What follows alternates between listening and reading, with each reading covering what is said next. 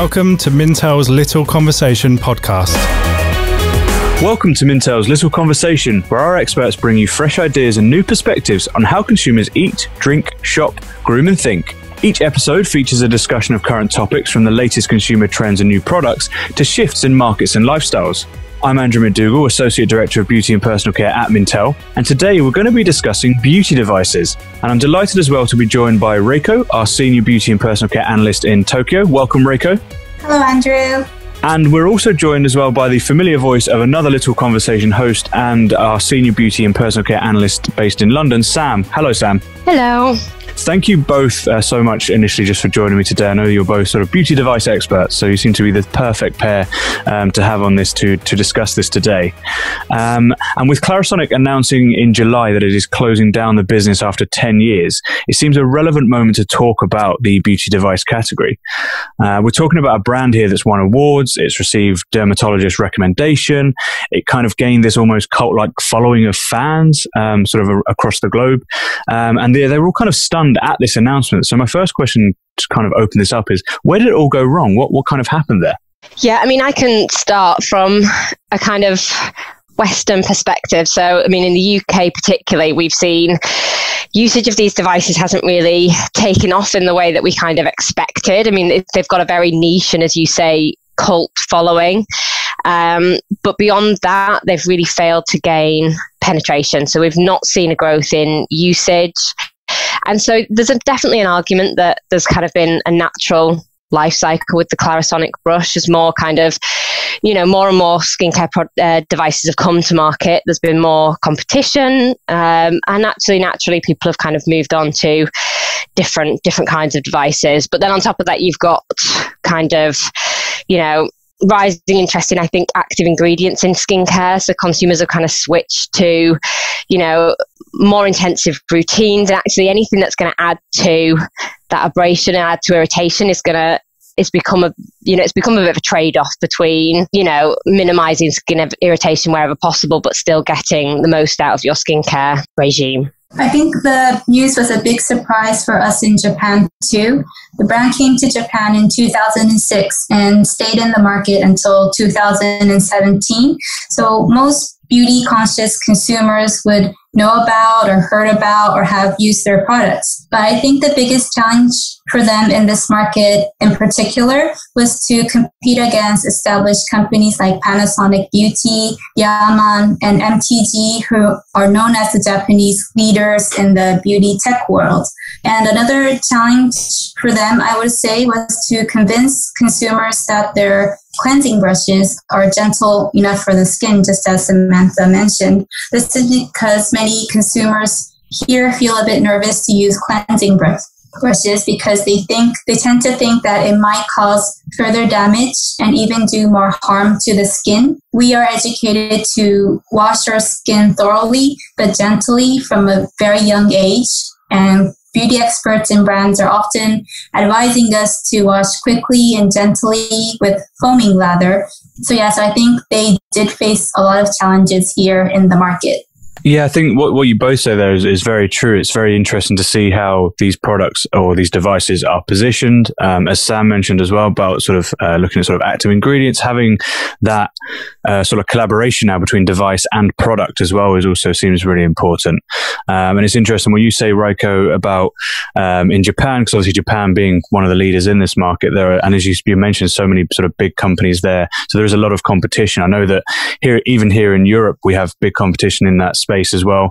Uh, big brands such as Philips or Foreo have sort of made these sort of beauty devices as well, which have also been very popular. Um, it is a bit of a surprise um, that L'Oreal have uh, sort of down tools with Clarisonic, um, but I guess the, the they did have a lot of competition. Some of it was a lot more inexpensive as well. Um, I know now that the Clarisonic has closed down. There's a huge sale on um, to get all those items uh, wrapped up, um, but it, it is very. I think there's a lot of competition in the space, and it's definitely not to say that Clarisonic moved out of the space because it's a space that's going nowhere. There's definitely um, key drivers in the market um, going forward, and there's definitely a lot of key innovations. I mean, what would you say you see as the key drivers in this sort of beauty device market? I mean, as you, I mean, as you just touched on there, Andrew, I think being able to integrate these devices as seamlessly as possible into um, a skincare regime is so important. You need to kind of be discussing with your consumers how these work with the products that you're already using. They can't really add too much extra time or inconvenience into your regime. So I think the more simplified these um, devices can be, and the more they can, as I say, the more discussion around how these work with, um, you know, with skincare products is so important. And I wonder whether we'll see more kind of collaboration between kind of, you know, technology brands and device brands with actual skincare brands because you know they're both experts you know we have brands that are experts in developing skincare products, and we've got brands that are experts in developing um, devices. But we've not seen masses of crossover with anyone doing particularly well across both. Um, so I think there's definitely an opportunity there for either more collaboration or you know more innovation in terms of devices that work with products as well, and discuss that and actively discuss that far more. I also think versatility is key for beauty devices in North APAC.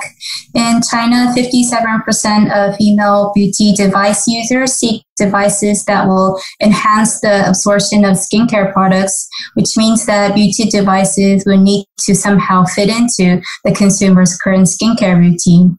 And also, devices need to be function driven as 71% of Chinese women who have used or tend to use devices consider functional benefit as the most important purchase factor. This is the same for consumers in Japan, where anti aging benefits are so important when it comes to beauty devices. And I also think um, there is potential in wearable devices like Yaman's MediLift and MTG SIXPAD, which offers further convenience and also allows you to do other tasks like washing the dishes and cleaning the floor while wearing the devices. And I think this is especially appealing to those who find it hard to put themselves first, like working mothers and even fathers. I love that concept of having a multitasking beauty device. So I, I would, I would definitely need that. I can't multitask um, for love nor money, so I would definitely need that kind of device to help multitask um, for me as well. Uh, it's really interesting as well what you said about how with the collaboration. I also think um, there's going to need to be maybe more guidance. I think um, with beauty devices, it's kind of stepping away from that beauty gimmick. It's not just a device to use because it's novel. Um, I think you know, as you as you mentioned, Reiko as well, the the functionality becomes very important important. Um, Sam, as well, when you mentioned about the um, sort of the, those collaborations and sort of those kind of products that work well with the devices, as I say, I wonder if social media could be a platform going forward to give that education. We see so many brands in skincare and in hair care and in beauty in general, uh, in color cosmetics as well. So many sort of um, video blogs or so many sort of TikToks or Douyin, depending on which uh, sort of uh, bit, which market you're in. Um, but so many of these little uh, social media bits that really help to sort of bring to life the devices. So I wonder if that would help to sort of build that trust um, with consumers. Um, because as I say, sometimes it is that case of just stepping away from that sort of novel or gimmicky outlook. Uh, and that's just sort of one of the barriers or stumbling blocks that beauty devices have.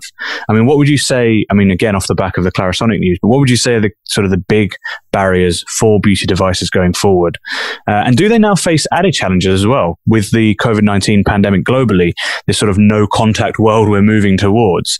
Um, is, there, is that going to have an impact now on beauty devices and sort of hygiene and things like that? Yeah, definitely. I mean, we, we, what we've seen in the UK, I mean, we actually specifically asked about this, um, and we do. We've got a really interesting stat which looks at kind of concerns over how hygienic devices, tools, and accessories, so not necessarily just electrical devices, but how you know if whether consumers are more concerned um, about how hygienic their devices are. And what we did see is that there has definitely been a spike since um, since COVID nineteen in terms of consumers are a lot more concerned about hygiene. And obviously, it's an added cost as well, isn't it? So you know, constant brush replacements, things like that, really add to the cost. But then if hygiene's a concern, you're going to be to doing that frequently. So that's definitely going to have created challenges. Whether that played into um, you know, Clarisonics, uh, L'Oreal's decision to kind of act Clarisonic um, or not, we don't know. But obviously, I think that's definitely going to play a big part. And as you say, I think one of the big challenges um, in terms of devices, since you know, in the aftermath of COVID nineteen, is that a real income squeeze is going to make people really price sensitive, and actually, these devices come at, at a significant cost for most consumers, and with no real kind of guarantee that these are going to work for you as a consumer. I think that makes people very nervous. So I think it's going to be so important, as you said, you know, the social media aspect of it. And, you know, I think the one thing that we see is that, you know, the one number one factor that would encourage people to buy a new kind of beauty or grooming device or tool is recommendations from friends and family, online, followed by online reviews, and then recommendations from beauty and grooming professionals. So that word of mouth discussion is so important. And I think on top of that, there's a lot more that can be done to showcase actual results. I think, I mean, you know, we've had lots of discussion around how successful NuFACE has been recently. And I think one of the things that they're doing really well is communicating that kind of before and after journey. And it seems such a simple thing, but actually showcasing what these products are doing for real people is, you know, so is going to be so important. Yeah, I agree with you, Samantha. I think some of the products can be a bit pricey in Japan as well. So one of the obstacles for brands to overcome, especially during the COVID-19 pandemic, is to prove that the products are worth investing in, but without the physical contact. So what Japanese brands did during the state of emergency was that they used live streams to connect their consumers with PRs and beauty experts who will introduce new products and tips on how to use them.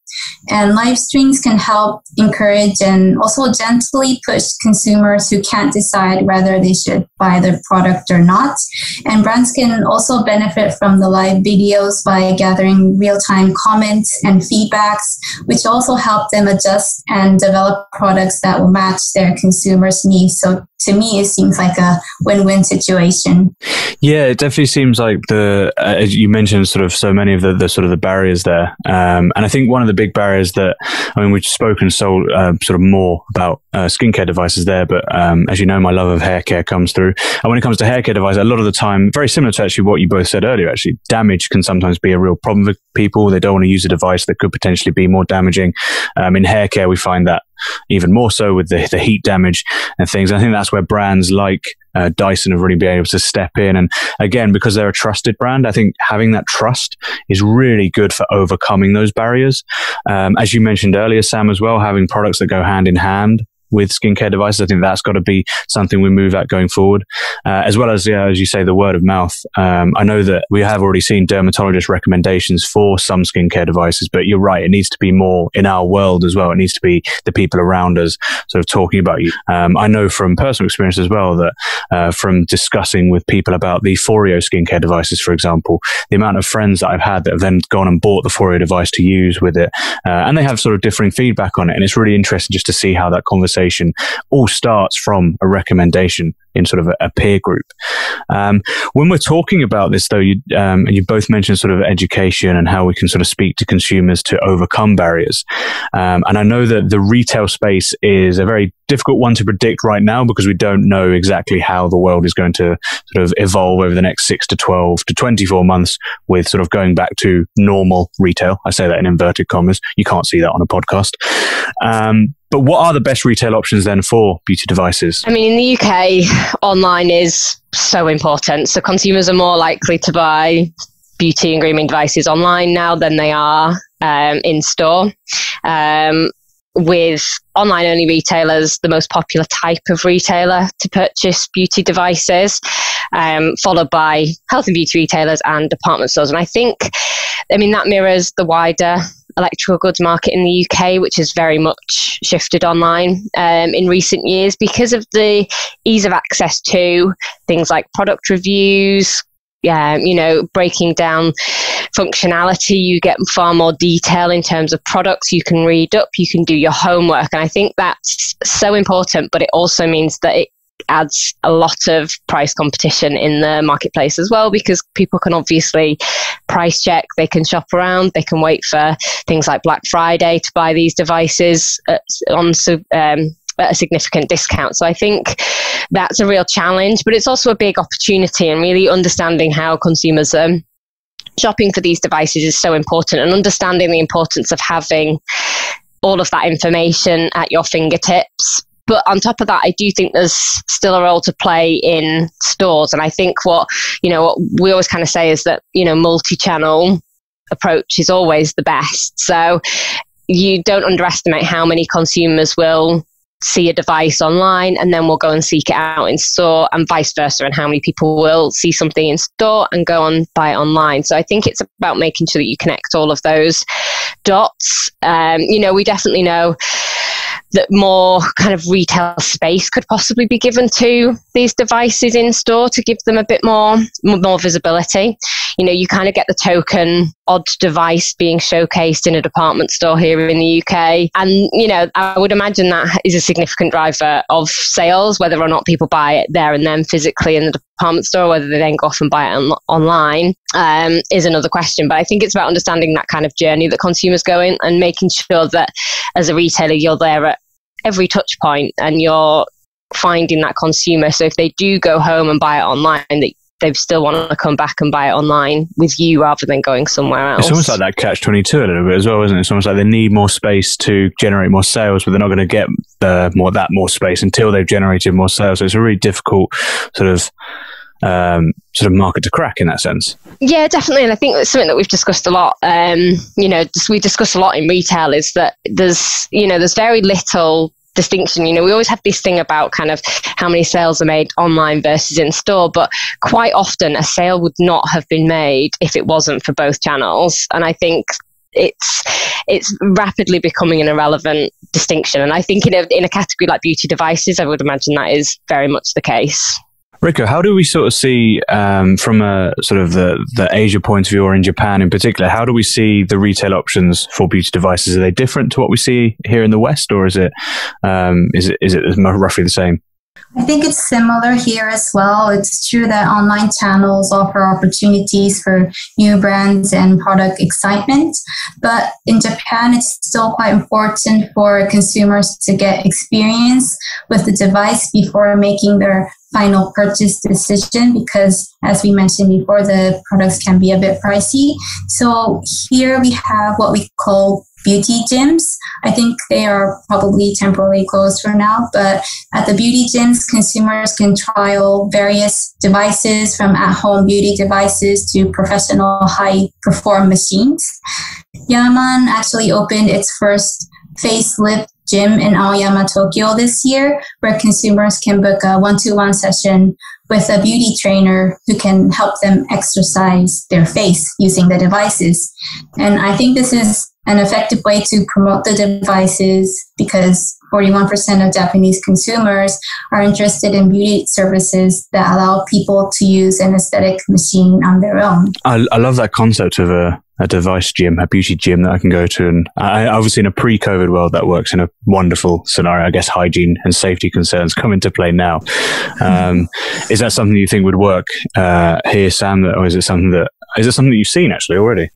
Yeah, I mean, not we haven't seen masses, and certainly not to that level. Um, but there's definitely space for it, and you've only got to look at you know how engaged you know consumers really enjoy going into a really experiential beauty store and it's part of the reason why you know for many years the department stores did so well in the UK we don't really have that kind of indulgent standalone beauty retailer in the UK where you can go and have that really immersive experience that we do in other regions, you know, with retailers like Sephora, etc.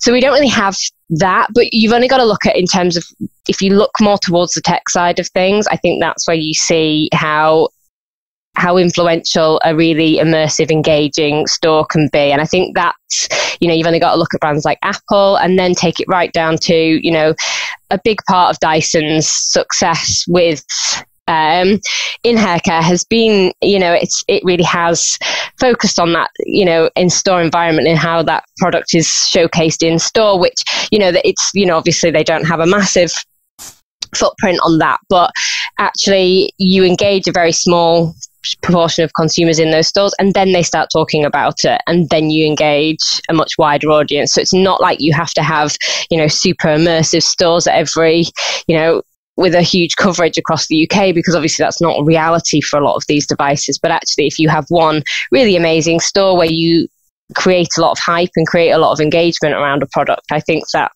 can be really powerful tool. And as I say, I think the Dyson example is your kind of primary example there. Yeah, and I think I think you touched upon, well, you both touched upon there, just how important trial is as well with these devices. I think actually being able to try these devices, see how they work, use them yourselves, can almost be again to help overcome some of those barriers that people have. I think people need to to be able to trust something. They do need to be able to trial it.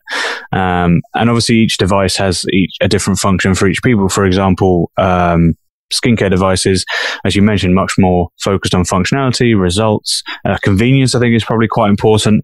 Whereas I think again, hair devices, I think focusing more on hair health and things like that. Um, that used to use that Dyson example. Um, I don't know if you've been in the Dyson store, but I love going in the Dyson store in London just for the fact that you know you can just play with all the devices. As you say, it's a real sort of experiential um, sort of situation to be in.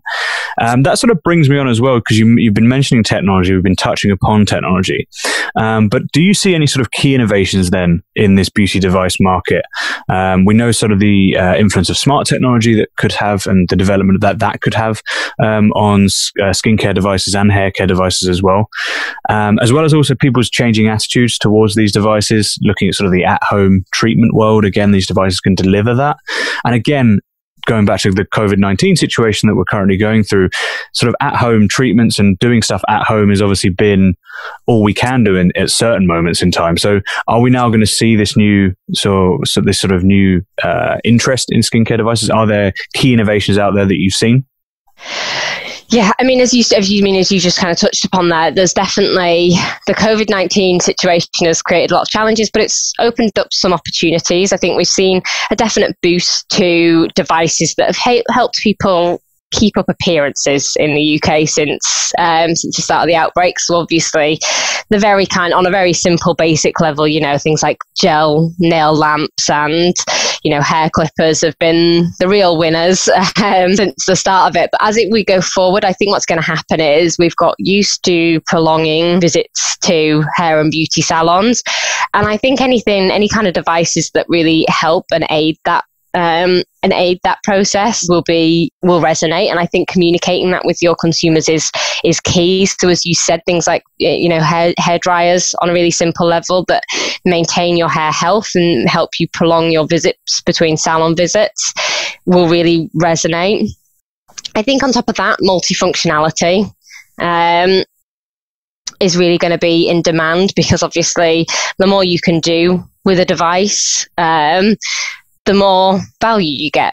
It's, it's as simple as that, really. So, you know, on a really simple level, you know, we've got kind of things like um, We Are Paradoxx's, Supernova, cordless three in one hair tool, you know, and it does multiple things and it can be used for multiple different kind of uses and occasions. So I think things like that, really thinking about multifunctionality. We've got the, I, I don't know how to pronounce it, the Nuo Valus anti-aging microcurrent and light therapy device, which kind of incorporates two different technologies for different results. Um, and I think you'll see more of that. So, really, a real focus on multifunctionality just because of the sheer value for money aspect. In Japan, at home beauty devices started to gain popularity during the state of emergency due to COVID 19 because beauty salons were temp- forced to temporarily close their stores. And there has been a lot of talk about new technology innovation during this market. But this year, MTG took a big step and moved into the sleep technology space. They launched a AI powered mattress that monitors how you sleep and also helps you improve sleep quality by controlling the temperature and producing gentle motions. There has been a lot of talk about sleep tech promoting quality sleep and encouraging beauty sleep recently, especially because a lot of people were feeling stressed by staying at home, and also because Japan has the shortest average sleep time in the world. The average sleep time in Japan is seven hours per day, whereas in the UK it's 8.4 hours. And in China it's nine hours. So we are definitely not getting enough sleep, and it could affect our skin condition as well as our mental well-being in a way. I like that. It turns out we're really lazy, Sam. we sleep for way too long. Um, I, I, I always feel like I'm, I'm always torn on uh, sleep because sleep quality I think is is such an interesting area to look at. And it's really interesting you mentioned that for beauty devices because it taps into that self care, that wellness um, sort of concept that is really important right now. Um, as I say, I, am always torn it though because I always, whenever I use these sort of devices to see how I've slept, I'm always then quite surprised at how badly I am as a sleeper, and it's kind of like, oh, okay, that's why I feel so terrible today. Um, but it is, but as I say, it's it's one of those things again where, um, I mean, not even particularly on a beauty device, you have it on sort of uh, Fitbits and other sort of trackers, wearable devices that you mentioned before, where you can find out about your sleep quality. And I think again, that's a good way of stepping into that beauty device market by having these kind of trackers that show you what this can do for your health and what this can do um, again for your beauty going forward. Um, I guess a good place to end the conversation today, um, given that we've discussed beauty devices all the time, is to just to actually just ask you a very quick question um, about your own beauty device use. Really, are there any beauty devices that you do use? Um, I myself am much more of mainly just a hairdryer man. Um, I have. I remember uh, at the end of uh, no, sorry, in the middle of last year, um, I was given the Neutrogena Light Therapy pen. I remember to sh- uh, sort of take to clients and things like that. I remember sort of thinking, oh, I wonder if this works. Um, I'm not sure if it did. I don't think I'm the target audience for it. Um, I, I, don't have sort of acne, for example, but um, that was a, a, again a device that was again convenient on the go. To me, it was a little bit gimmicky because I didn't see the use of it. Um, but then I did also then give it to my wife, who then was just like asked if she could then just have the product because she loved it. Um, so yeah, I was wondering, what is your sort of experience with beauty devices? Um, are there particular ones that you swear by? Yeah, I mean, for me, I'm a bit like you. I've always been more focused on hair tools. Um, I was up until pre um, lockdown, I was an absolute user of, you know, would not go anywhere, would not leave the house without straightening my hair. And I think that's one of the things that's really changed for me. And I think it probably, I would imagine for a lot of other people, is that actually I've learned to very much live without my straighteners. And I think uh, with that, I think what's been interesting for me is I've seen a lot on that's going to really challenge the hair device um, and hair tools market um, in future. Like things like, you know, I've been obsessed with all these various different, you know, things like the TikTok sock curl challenge um, and things like that. And I think actually, as you say, I think it's going to be really interesting to see how it plays out, things like that, because actually, whilst COVID 19 has created a lot of opportunities, I think it's, you know, very much changed device usage for a lot of people. In terms of skincare, I've always, I've always kind of avoided skincare devices. I just, they make me a bit wary. I don't trust. I've got quite sensitive skin, so I've always just kind of, for me, it's very much not about electrical tools and devices. How about you, Reiko? I'm thinking because uh, Japan and Korea in particular have such, uh, they're, they're, like the leaders for patents for skincare devices. I'm expecting you to have um, just a heavy usage of skincare devices. Is that true? I'm a very low tech person. But I am a big fan of lymphatic drainage. So my first beauty device I bought was um, Ayura's Bikasa plate. It's a ceramic gua sha tool, which I'm still using. I, I like it because it feels really good and provides a super relaxing experience. I also recently bought the CoreFit Face Pointer. It's a pen-shaped tool that is designed to apply pressure to certain points on your face, neck, and shoulder to improve circulation. And I always have it on my desk when I feel tired or if I have a stiff shoulder, I'll just use it to relax. And I, I have one more device. I also own a MTG ReFa face roller, which is actually a hand me down from my mother. She owns, I think, about three or four of them, and she's a big fan of them. And she, it was a recommendation from my mother, so I also use that as well. I love how you said you were low tech, and then you blew me and Sam out of the water by then saying all these different devices that you had. but it's really interesting as well, given that Sam, you spoke about um, how sort of you maybe have apprehension with sensitive skin to fit to use certain devices, and at the same time, then Reiko, you're talking about how these are just great for relaxing, and you mentioned things like gua sha and things like that. Um, I know that it's not sort of a high tech beauty device, but things like those facial rollers as well, the jade rollers and the quartz rollers, uh, something that have been quite popular um, over the last sort of uh, year or two. Um, so it's really interesting just to sort of see how again, the the devices they connect with people in a different way, and I think relaxation and going down that self care route could be a very interesting way forward. Yeah, definitely. Um, as you say, I think, I mean, I think on the um, the facial rollers and the gua sha tools, I think also helps that they're very Instagram friendly. Um, and mm. they look very pretty when people are taking their bathroom shelfie pictures or whatever else. So I think there's definitely maybe an element of that, especially over here in the UK at least. So I'd be interested to see how many people actually have bought them and then not used them. yes, I think in Japan also a lot of men are into the beauty devices recently as well. So we're all kind of um, expecting this market to grow more in the future. Well, thank you both very much for your insights. I'm afraid that about does it for today. Actually, we've uh, spoken for a, little bit of time, um, but thank you so much for your for your input and your insight. Uh, to learn more about what we've discussed today, or to learn more about Mintel, uh, then please do uh, visit uh, mintel.com, uh, where you can sort of read up all about COVID 19. You can read up all about um, what we've discussed today. We've got some great beauty device reports, um, and then loads of other beauty and personal care topics too. and also be sure to subscribe to Little Conversation wherever you get your podcasts as well. Um, a huge thank you to Reiko and Sam uh, for both joining me today. So thank you both so much for joining me today. Thank you so much for your insight. So thank you, Sam, and thank you, Reiko. And thank you all very much as well for listening. Have a great day.